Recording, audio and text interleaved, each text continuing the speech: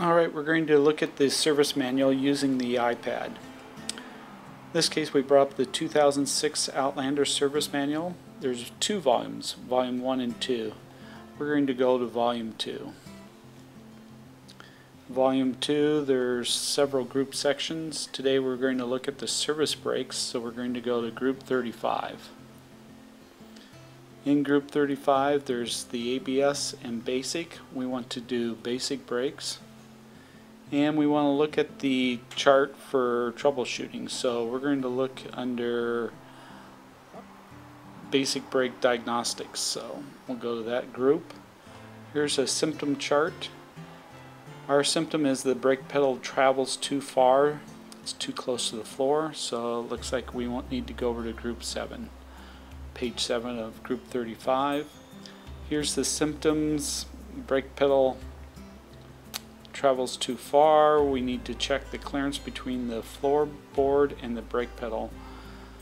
Uh, step one is the brake firm or spongy, two brake pad wear, three vacuum hoses, four master cylinder, five possible brake fluid leaks, six is the issue which is check the clearance between the brakes push rod and the primary piston. There's a hyperlink to that. We're going to go over to that section shows us the master cylinder and how to remove the master cylinder so that we could check this proper clearance. The next page actually shows the area that we need to do the inspection. We're going to double click. We're going to zoom in on that area. We can even zoom in further yet.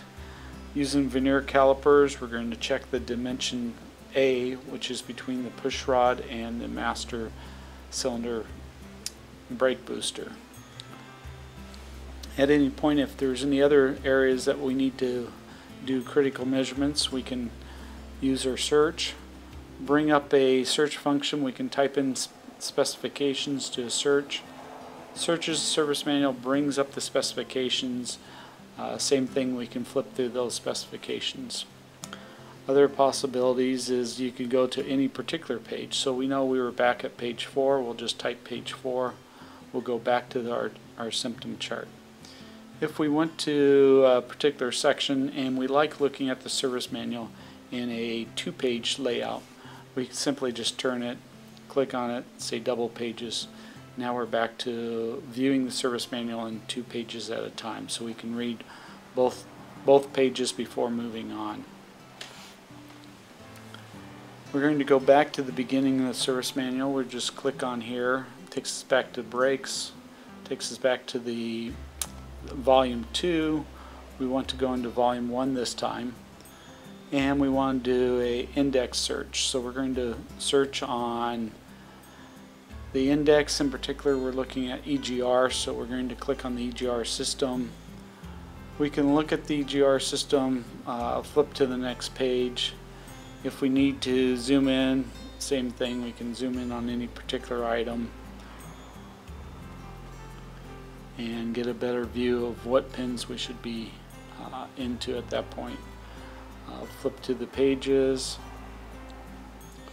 We can go back and go back to the beginning to uh, volume 1 and 2. So that's a quick overview on using the service manual on the iPad.